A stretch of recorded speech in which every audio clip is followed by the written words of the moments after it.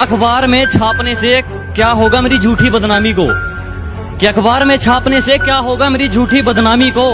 पता कौन से देश की सरकार रोक पाई है सुनामी को?